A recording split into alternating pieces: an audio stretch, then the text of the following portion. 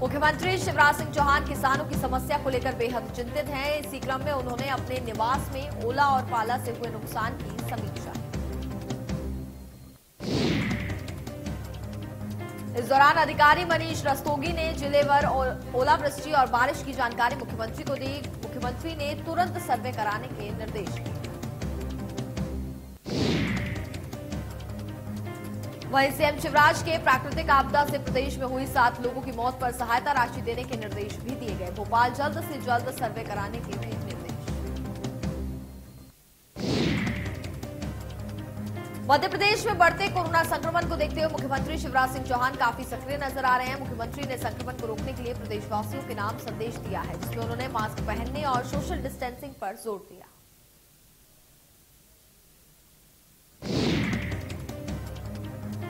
BJP से राज्यसभा सांसद ज्योतिरादित्य सिंधिया की संवेदनशीलता देखने को मिली। बताया जा रहा है कि रास्ते में गिरकर घायल पड़े पुलिसकर्मी को देख ज्योतिरादित्य सिंधिया ने तुरंत अपनी गाड़ी रोकी और उस पुलिसकर्मी को न केवल उठाया, बल्कि उसे सिर और हाथ पर लगी चोट को अपने रूमाल से पहुँचते हुए नज़र आए।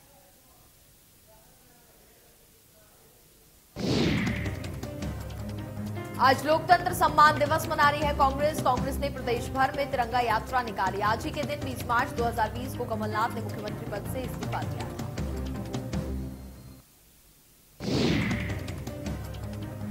आज मध्य प्रदेश कांग्रेस लोकतंत्र दिवस मना रही है, जिस पर भोपाल पहुँचे ज्योतिरादित्य सिंधिया ने कहा कि कांग्रेस ने 15 महीने तक लोकतंत्र की हत्या की और आज भी जनता का मत जो उपचुनाव के बाद सामने आए, उसे स्वीकार करने को तैयार नहीं।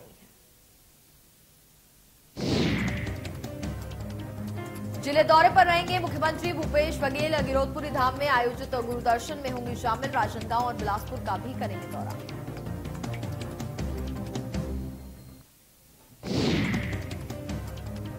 मध्य प्रदेश से राज्यसभा सांसद सुमेर सिंह सोलंकी ने सदन में प्रधानमंत्री आवास योजना की राशि बढ़ाने को लेकर के सवाल पूछा।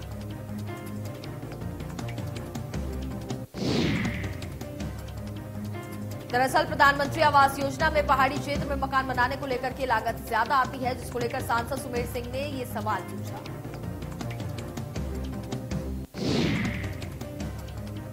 मंत्री साध्वी निरंजन ने मध्य प्रदेश सरकार की तारीफ़ करते हुए जवाब दिया और कहा कि सरकार से प्रपोजल आएगा तो ध्यान रखा जाएगा।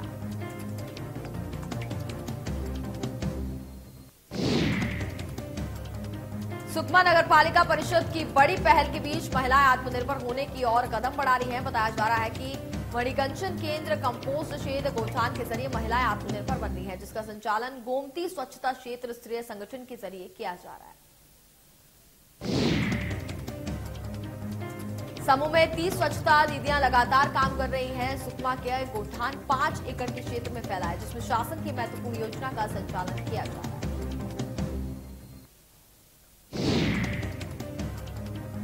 गोबर खरीदी, वर्मी खाद उत्पादन, बाड़ी में जैविक खेती, सब्ज़ियाँ फल फूल के उत्पादन से महिलाएँ आत्मनिर्भर हो रही हैं। यहाँ काम करके महिलाएँ महीने में दस हज़ार तक कमा लेती हैं।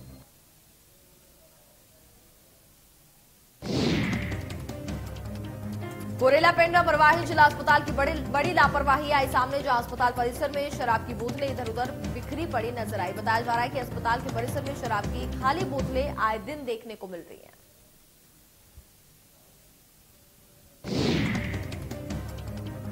शाजापुर ज़िले के संतरा उत्पादक किसान इस बार आर्थिक संकट के दौर से गुजर रहे हैं, क्योंकि इस बार यहाँ संतरे की पैदावार पूरी तरह से चौपट हो गई है। पौधों पर फल ना लगने से क्षेत्र में इस बार संतरे की पैदावार 90 फ़ीसदी से ज़्यादा प्रभावित हो गई।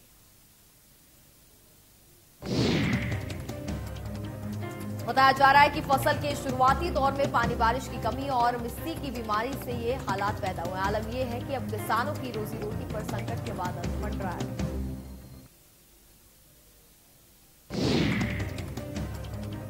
महाराष्ट्र में कोरोना के बढ़ते हुए संक्रमण के मद्देनजर छिंदवाड़ा जिला प्रशासन और ज़्यादा सख्त हो गया है।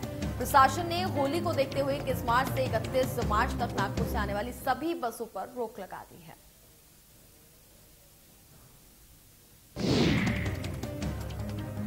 कलेक्टर ने फैसला जिला आपदा प्रबंधन समिति की बैठक में लिया। बैठक में रात दस बजे के बाद बाज़ार बंद करने पर भी सहमति बनी।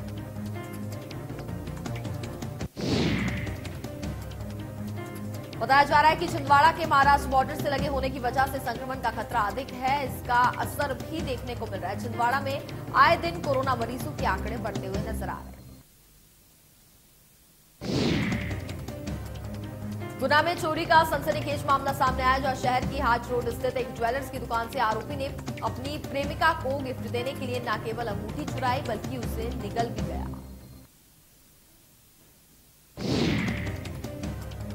मुरैना में दो शासकीय ठेकेदारों के बीच जमकर फायरिंग हुई। गोलीबारी में चार लोगों की गोली लगी है। तीन की हालत गंभीर बताई जा रही है, जिन्हें इलाज के लिए ग्वालियर रख दिया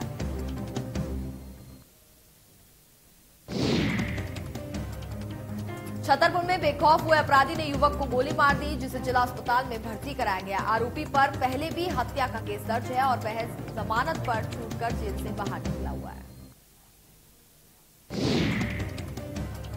उज्जैन के भैरवगढ़ क्षेत्र में पानी की टंकी से कूदकर युवक ने जान दे दी। युवक नाम, युवक का नाम भेरूलाल बताया जा रहा है।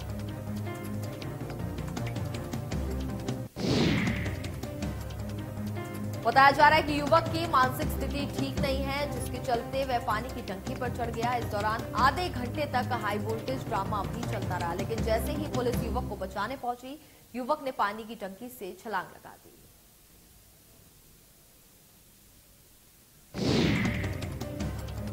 कृषि कानूनों के खिलाफ जारी किसान आंदोलन का आज 115वां दिन है। नई रणनीति को लेकर आज किसान संगठन बैठक कर सकते हैं।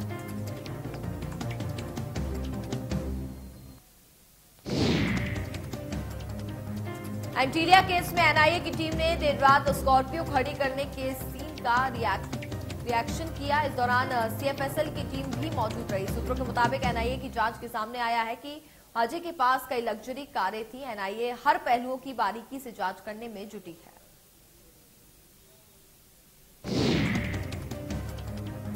मार्केट रेगुलेटर सेबी ने बाबा रामदेव की कंपनी रुचि सोया के शेयरों में मैनिपुलेशन के मामले में बड़ी कार्रवाई की है। सेबी ने सात कंपनियों से चार दशमलव सात तीन करोड़ रुपए लौटाने को कहा है।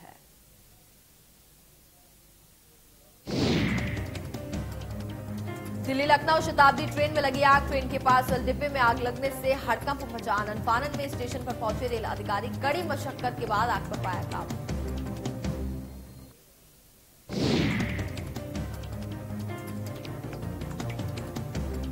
social media, platform Facebook, WhatsApp और इंस्टाग्राम ने शुक्रवार रात अचानक काम करना बंद कर दिया। इन सर्विस के डाउन होने से भारत सहित दुनिया के कई देशों में यूज़र्स परेशान हो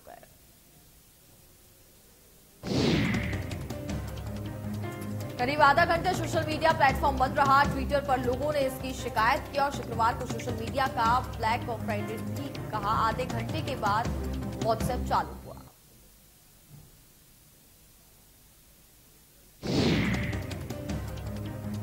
कई दिनों की गिरावट के बाद सेंसेक्स में उछाल देखने को मिला। सेंसेक्स छह सौ इकतालीस अंक बढ़कर चार हज़ार आठ सौ अड़सठ तक पहुँच गया है।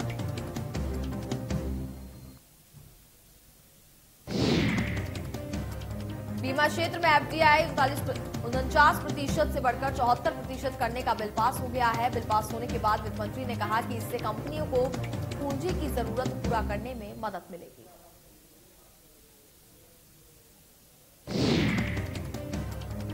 वेस्टइंडीज के पूर्व कप्तान क्रिस गेल ने कोविड 19 वैक्सीन जमेका भेजने के लिए प्रधानमंत्री नरेंद्र मोदी का आभार जताया। भारत और इंग्लैंड के बीच टी ट्वेंटी सीरीज़ का पांचवा और आखिरी मुकाबला आज खेला जाएगा। अहमदाबाद के नरेंद्र मोदी स्टेडियम में होने वाला यह मैच सीरीज़ का फाइनल मैच है। सीरीज़ पर कब्जा करने के इरादे से टीम इंडिया मैदान में उतरेगी। सीरीज़ के आखिरी मैच में भारतीय टीम में ज़्यादा बदलाव देखने को नहीं मिलेगा। कप्तान विराट कोहली ओपनर के राहुल को बाहर करने के लिए मजबूर हो सकते हैं। राहुल सीरीज़ के चार मैचों में फ्लॉप रहे।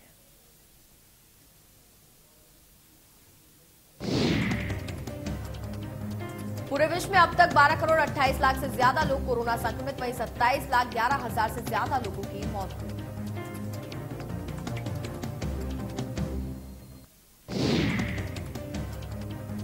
देश में 24 घंटे में चालीस हज़ार से ज़्यादा नए केस सामने आए। एक सौ अठासी मरीजों की जान चली गई, तेईस हज़ार से ज़्यादा मरीज़ रिकवर हुए।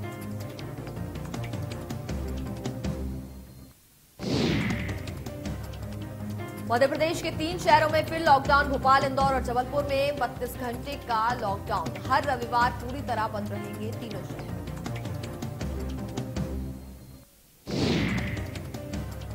मध्य प्रदेश में बड़े कोरोना मरीज़ 24 घंटे में रिकॉर्ड तोड़ 1140 नए संक्रमित सामने प्रशासन ने सख्ती बढ़ाई।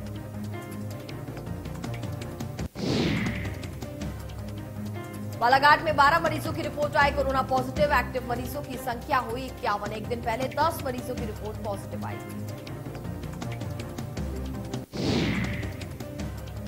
छत्तीसगढ़ में फिर से कोरोना संक्रमण ने पकड़ी रफ्तार। पिछले 24 घंटे में एक हज़ार सत्तानवे मरीज़। रायपुर में 280 तो दुर्ग में सामने आए 320 नए।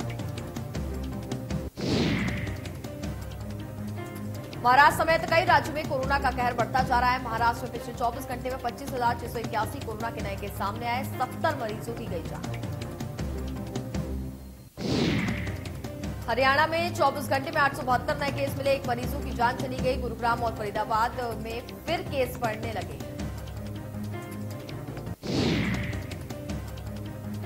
गुरुग्राम में कोरोना के मामलों में तेज़ी से बढ़ोतरी हो रही है। इस साल पहली बार सबसे ज़्यादा एक सौ चौरासी नए केस सामने आए हैं। महामारी को रोकने के लिए ज़िले में मेगा ड्राइव चलाई जा रही है।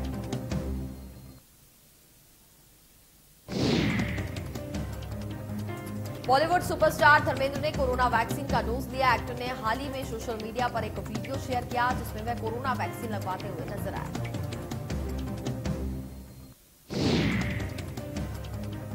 अमिताभ बच्चन को प्रतिष्ठित international federation of film offers award से सम्मानित किया गया। अमिताभ बच्चन पहले भारतीय हैं, जिन्हें इस पुरस्कार से नवाजा गया।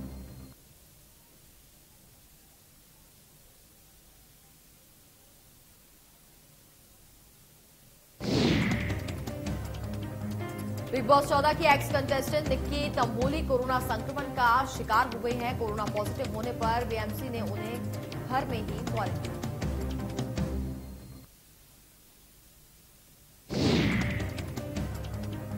बॉलीवुड अभिनेता वरुण धवन अपनी आगामी फ़िल्म भेड़िया की शूटिंग में व्यस्त है, जिसकी शूटिंग अरुणाचल प्रदेश में चल रही है।